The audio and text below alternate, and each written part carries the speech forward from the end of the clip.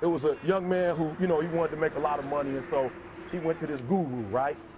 He told the guru, you know, I want to be on the same level you on. And so the guru said, if you want to be on the same level I'm on, I'll meet you tomorrow at the beach.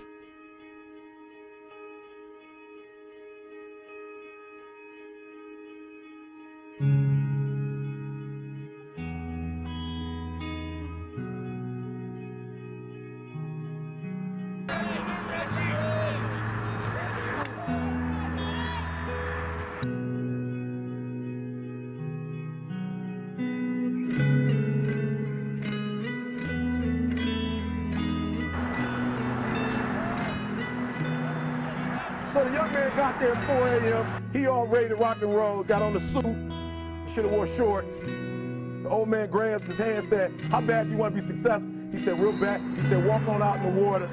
So he walks out into the water. Watch this. When he walks out into the water, it goes waist deep. So he like, this guy crazy.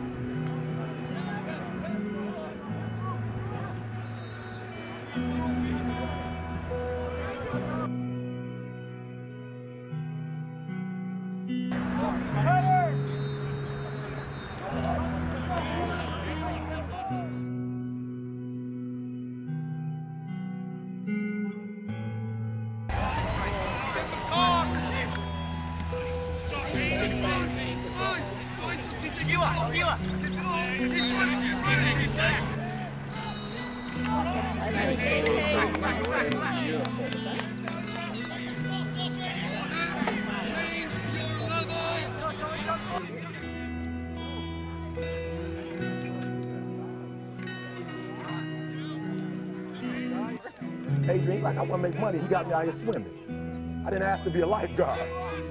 I want to make money. He got me in. So he said, come out a little further. Walked out a little further. Then he had it right around this area, the shoulder area. So this old man crazy. He's making money, but he crazy. He said, come on out a little further. Came out a little further. It was right at his mouth. My man like, I'm about to go back in here. This child is mine. So the old man said, I thought you said you wanted to be successful. He said, I do. He said, walk a little further. He came, dropped his head in, held him down, hold him down. My man didn't scratch scratching, holding him down. He had him held down. Just before my man was about to pass out, he raised him up. He said, I got a question for you. He told the guy, he said, when you want to succeed as bad as you want to breathe, then you'll be successful. I don't know how many y'all got asthma here today, but if you ever had an asthma attack before, you short of breath, SOB, shortness of breath, you wheezing. The only thing you trying to do is get some air. You don't care about no basketball game. You don't care what's on TV. You don't care about nobody calling you. You don't care about a party. The only thing you care about when you're trying to breathe is to get some fresh air. That's it. And when you get to the point where all you want to do is be successful as bad as you want to breathe, then you'll be successful. And I'm here to tell you, number one, that most of you say you want to be successful, but you don't want it bad. You just kind of want it. You don't want it badder than you want to party. You don't want it as much as you want to be cool. You, most of you don't want success as much as you want to sleep. Some of you love sleep more than you love success. And I'm here to tell you today, if you're going to be successful, you got to be willing to give up sleep.